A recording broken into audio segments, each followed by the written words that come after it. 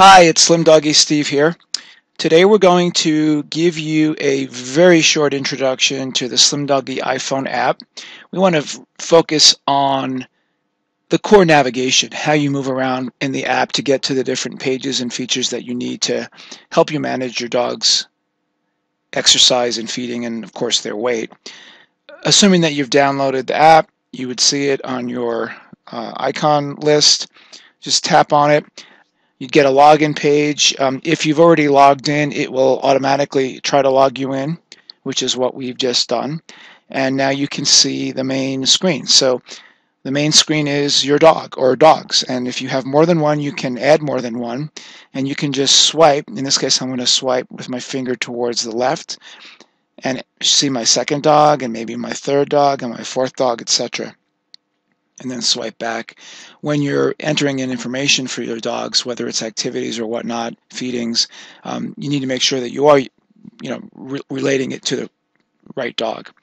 Anyway, the main navigation, uh, it's very simple. You can see in the top left of the tab, there's like a little set of bars.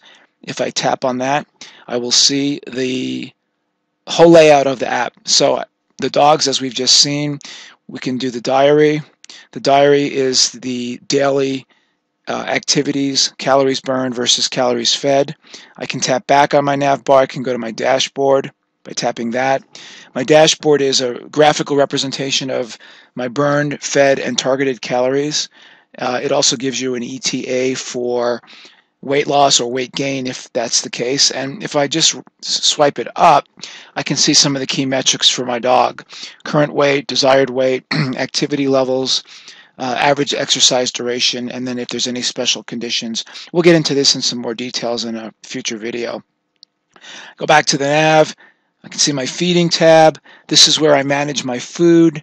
I'm able to search for foods, add them to the list, and then ultimately uh, add the amount of foods that we're using. We'll get into that again in some details in a future video.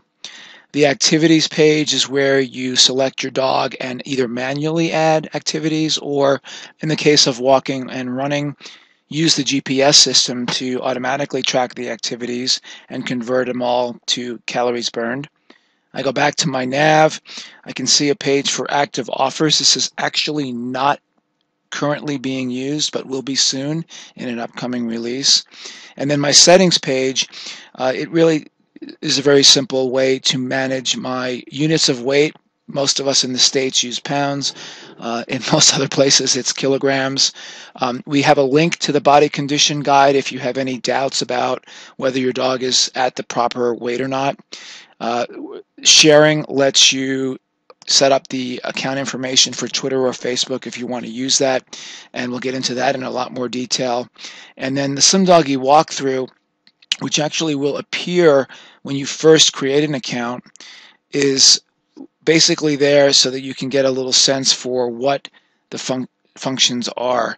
And if you go through that once and you want to see it again, you just tap on reset app to tutorials and it will reset those for the next time you log in. So that's it. Really simple. The the navigation is uh, is hidden and then you can access it by tapping on those icons. Appreciate your time. Thank you for downloading the app and come back again because we have a lot more details to get into on all these different features.